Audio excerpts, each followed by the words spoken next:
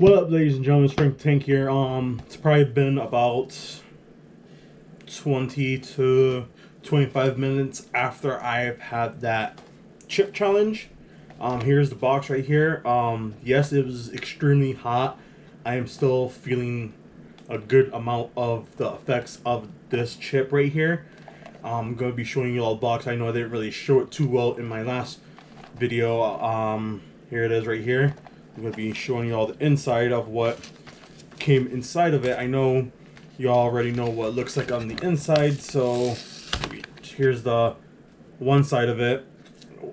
Uh, rule one, eat the entire chip. Two, wait as long as possible for before drinking or eating anything. Three, post your reaction on social media with one hashtag one chip challenge and mention at Paqui Chips. So here's that. The inside of it. I showed the chip in the other video that I am posting. Here's the front of it, obviously. And then here is the inside of it. Um, obviously, you all know what the challenge is, what to expect. Meaty, made with Carolina Reapers, scorpion pepper, and sashimi pepper. The chip is, I don't know if I said that right, right or not. Sorry if I about that.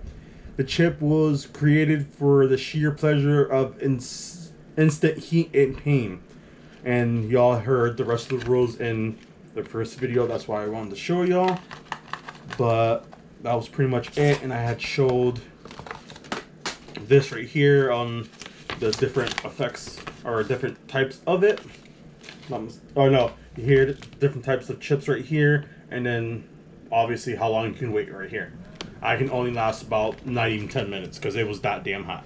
Um, I most likely will be doing it again in another video or another time, probably soon, who knows. So yeah, thanks you for watching my videos and I'll check y'all out later. Deuce.